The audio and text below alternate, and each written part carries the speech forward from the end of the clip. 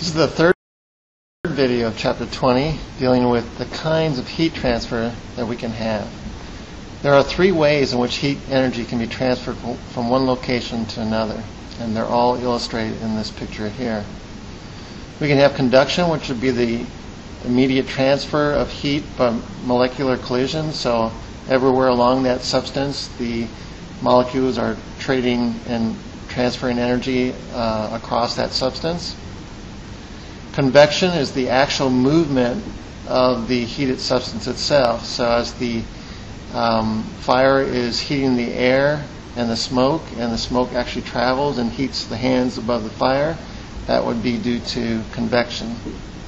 And we can have radiation, which is actually heat by electromagnetic waves. So the electromagnetic radiation by the light traveling to your hands can heat your hands that way, and that wouldn't necessarily need to uh, travel through a medium. Here's a conduction example. Conduction can only occur if there's a difference in temperature between two parts of that conducting medium. So in this particular case, the molecules will vibrate more rapidly where the temperature is higher at the stove position. And then they will uh, transfer some of that energy to other molecules nearby within the pan, and they will start vibrating with greater amplitude. And as these energies being transferred along the pan, these, these, this energy gets transferred more and more towards the handle, and eventually the heat will travel all the way through the handle, and um, you might be able to feel it there. So, in general, metals are good conductors because they contain a lot of free electrons, and the free electrons can transfer this energy more easily. Poor conductors would be asbestos, paper, and gases themselves. conduction, if, if Q is the heat transferred, and we do it in a time delta T, we can think about power. Power is energy per time. In this case, it would be the heat transferred per time. If we consider a wall with an area of A, a temperature change between the two sides of the wall of delta T, and a thickness L, then the heat transfer rate through this wall is equal to K A delta T over L. And that would be the power transferred. K A T over L. Cattle. Cattle. Okay. Where K is a constant of the material, otherwise known as the thermal conductivity of that material, and would be an intrinsic property of the material itself. Here are some common thermal conductivities of some common materials in joules per second per meter per degree Celsius. Silver 427, copper 397, aluminum 238. These are very good thermal conductors, most likely because they are very good uh, electrical conductors. They have free electrons that can transfer the energy easily. On the other hand, we have some nonmetals that are good insulators ice, concrete, glass, water, asbestos, wood. These are good insulators, and ironically, ice being a good insulator would make a good um, substance to make a house out of in cold climates.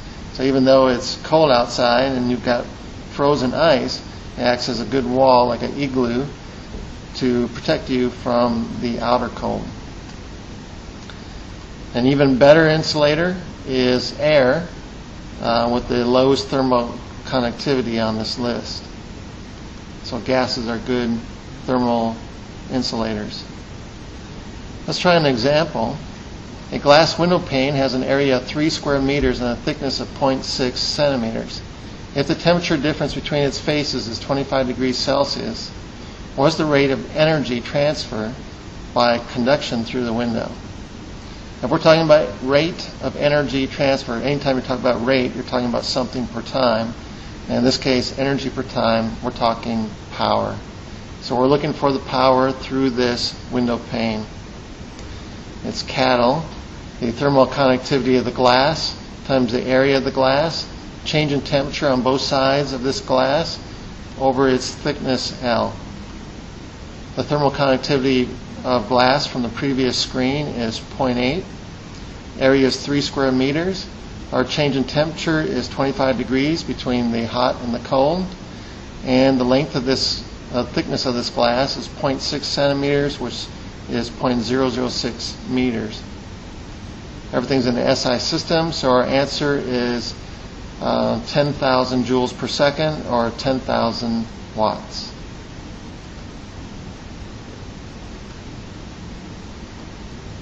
If I had multiple materials, I'd have to worry about the respective thermal conductivities of each material and, of course, their thicknesses.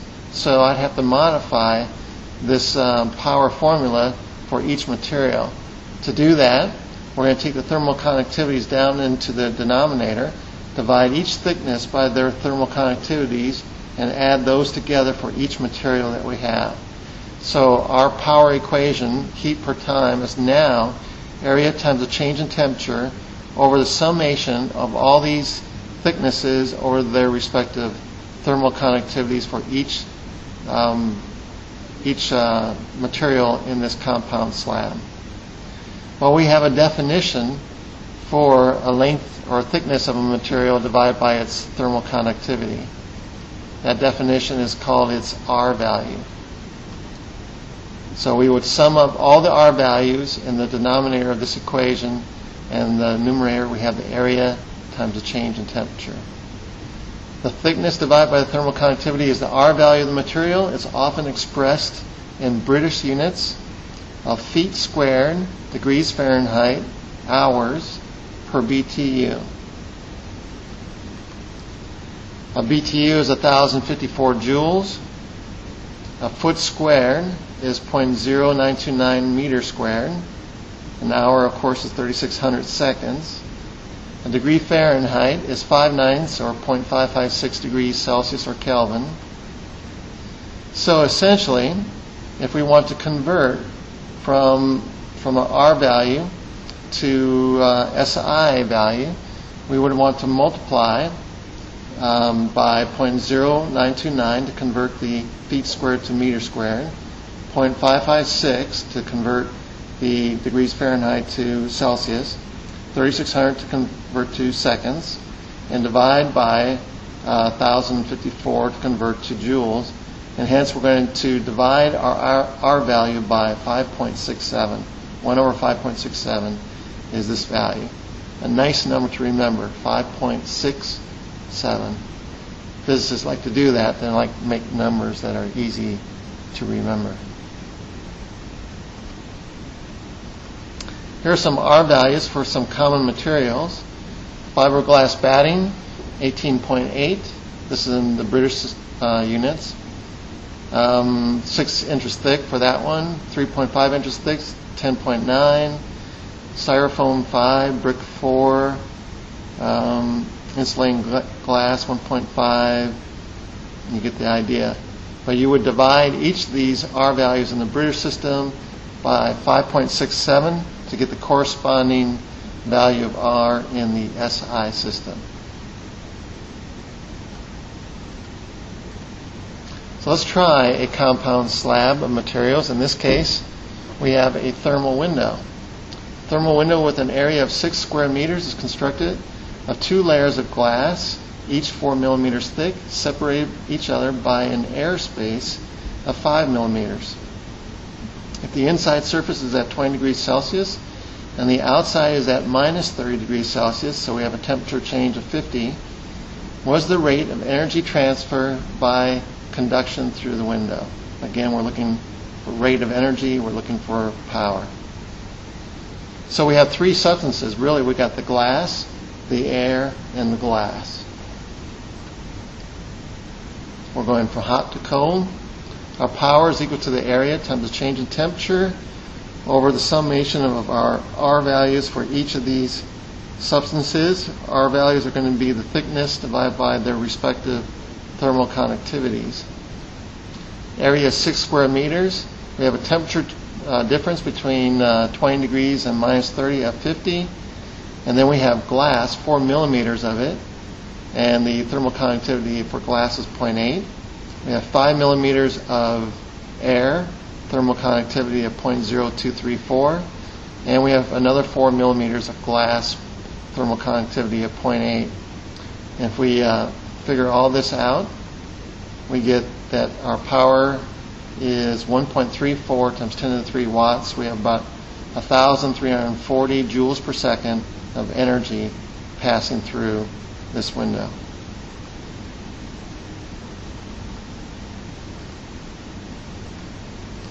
We can also have a heat transfer by the actual movement of the heated substance.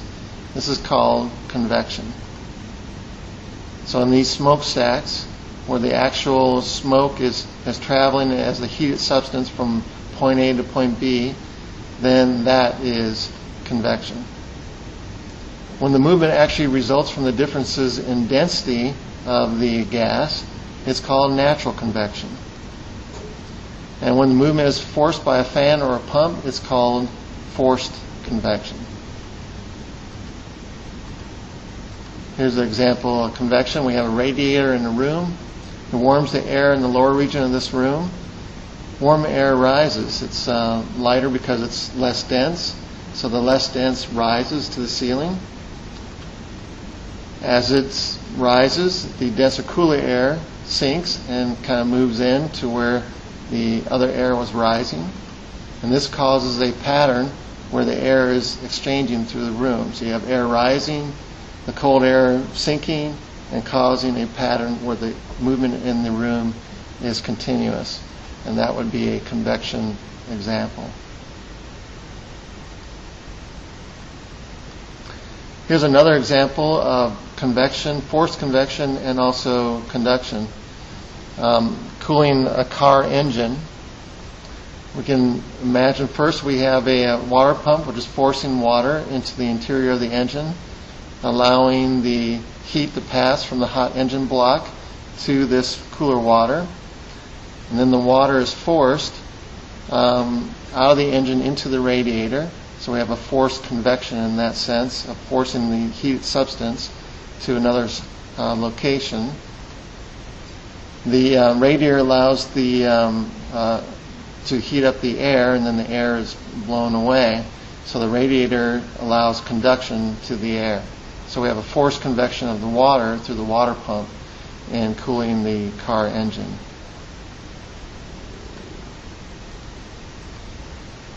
Other applications of convection, the hydro- hydrologic cycle and weather in general, where one area of the earth is heated up and air rises, causing storms to form, and then other air moves in, uh, winds as, as, a result. Heating and cooling in the oceans, El Nino and La Nina, are um, actual convection of, of heated or cooled water. Uh, radiator heating the room, we just talked about that. Circulatory system within the human body is actually convection of, of warm uh, blood, and that can heat uh, the body as well. So the blood vessel network would carry warmth. Birds actually have a layer of vessel-free fat, which allows them to actually stay insulated.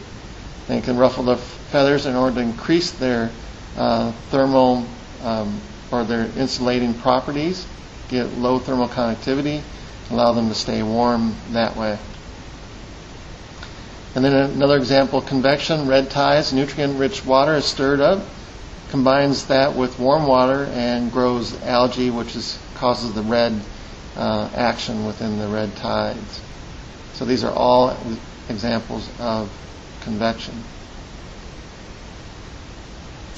Here's a beach scene, and it can illustrate um, all the types of heat transfer that we might be interested in. First, we got radiation from the sun bearing down on this beautiful scene. It's also heating the sand, and the ha- sand, by changing its temperature, will also um, radiate energy as well. So we have radiation coming from the sky, from the sun, and radiation coming from the sand itself. If we're standing on the sand, we can feel by direct contact the heat passing through the sand up into our feet and maybe passing up into our body that way. So that would be direct conduction that way. And the heat in the sand could be heating the air. Air could be rising, and that heated air would also heat us as it's rising up. So these are all the examples of heat transfer that can take place at the beach. It's a very good place to do our analysis and our scientific investigation of heat transfer. I think we ought to go on a um, scientific journey, a um, experiment to the beach to test this out, don't you? Field trip. Radiation. Radiation does not require any kind of physical contact. All objects radiate energy continuously by electromagnetic waves due to the thermal vibrations of their molecules, and, and that's due to temperature itself. The rate of radiation is given by Stefan's law. Here is the electromagnetic power radiated energy per time by Stefan's law is proportional to the fourth power of the temperature. Power is equal to sigma A E T to the fourth power. Stefan's law, P is the power in joules per second or watts. Sigma is the Stefan Boltzmann constant, and it is 5.67 times 10 to the minus 8 watts per meter squared per Kelvin to the fourth power. Note the nice number, 5.67 again, and this times 10 to the minus 8. Physicists like to make these numbers easy. 5.67 times 10 to the minus 8. Too easy. Got to remember that one. A is the surface area in meters squared. E is the emissivity of the object. It varies from 0 to 1 as a, as a fraction. The emissivity is also equal to the absorptivity of the object. So how much it emisses is also how much it, the rate at which it can absorb. The number is the same. Um, if you're absorbing though at different temperatures, then that would be a different power. So you have to consider that maybe your surrounding is a different temperature than, than you are, and hence your power exchange would be different. But if you're at the same temperature as your surroundings, then you have no power difference between your surroundings. Your, your emissivity and your absorptivity is the same. And T is the temperature in Kelvin. You have to make sure when you use this law that you are using the Kelvin scale. An ideal absorber is defined as an object that absorbs all the energy incident on it. Emissivity in this case would be equal to 1 because emissivity and absorptivity are the same. This type of object that absorbs everything of the energy on it is called a black body, and it's also emit, emitting at the same um, emissivity as well. An ideal absorber is also an ideal radiator of energy. Ideal reflector absorbs zero for ideal reflector. The net radiation would be the energy gained or lost each second by an object would be how much it emisses by minus how much it absorbs. So it would be by Stefan's law, sigma A emissivity temperature the fourth of the object minus whatever it's absorbing, whatever's coming in, which would be sigma A emissivity temperature of the surroundings to the fourth power. So power radiated by the object minus the power radiated by the surroundings into the object. That would be your net power exchange. When an object's in equilibrium with its surroundings, it radiates and absorbs at the same rate and at the same temperature, so its temperature will not change. It will maintain the same temperature. So no, no net exchange. Let's try an example.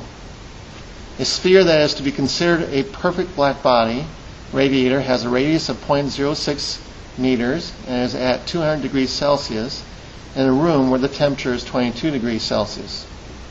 Calculate the net rate at which the sphere radiates energy. So we want to know not only how much it's radiating out, but how much it's taking in, and the difference between the two would be the net rate.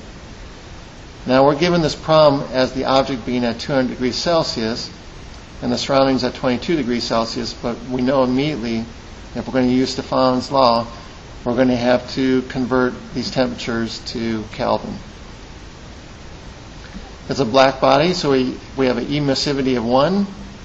Our temperature of the body is going to be 200 degrees Celsius plus 273.15 for a Kelvin temperature of 473.15.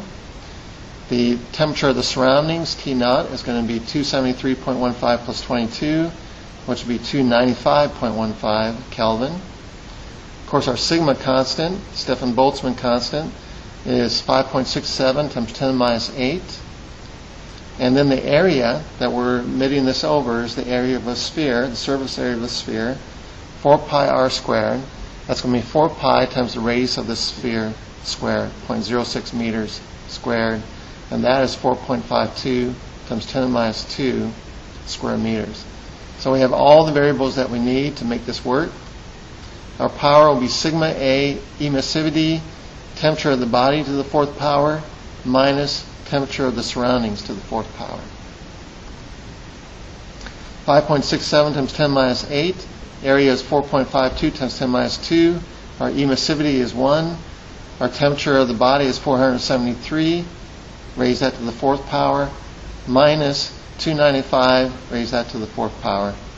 Note you can't take the difference in temperature first and then raise that to the fourth power. Mathematically, that's incorrect. So you have to have the temperature to the fourth power minus the temperature to the fourth power. And if we do that, that gives us 109 watts. So our net energy radiated per time is 109 joules per second or 109 watts.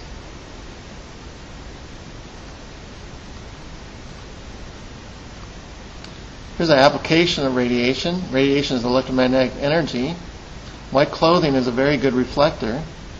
And by reflecting, it would not absorb, it would reflect emissivity closer to zero. And hence, it would maintain you as being cooler so you, since you're not absorbing this electromagnetic radiation. Black clothing could be also considered cool in a certain sense. You know, it's it's it's absorbing everything and it's emitting everything. Half of what it's emitting is back outward, and the other half is inward. So you can have all this hot air coming in, and hence theoretically heating your body. But if you keep your clothing um, pretty loose, that can cause a convection current to to occur. You're heating this air air starts to rise, and cooling air will come in, and you get yourself a little bit of um, air conditioning going on if you have loose enough clothing to allow you to stay cool. So even the even the dark clothing could be um, could be cool as well.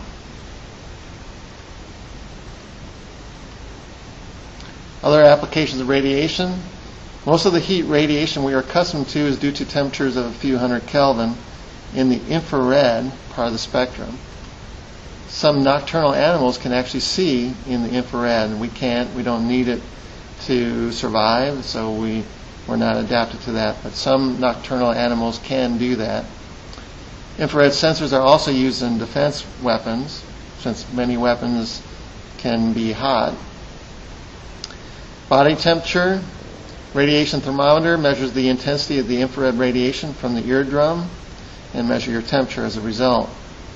The sun transmits energy in different forms of electromagnetic radiation in the infrared, which you can't see, in the visible, which is most of the sun's radiation, which we're much accustomed to, and in the ultraviolet, which is uh, above the, um, the frequency that we can see.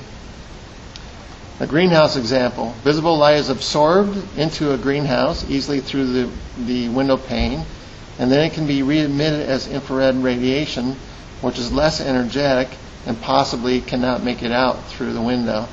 So you have your convection currents of the heated substance, heated air, not being able to escape, and hence um, maintaining um, a hotter temperature inside the greenhouse. So the greenhouse would work that way.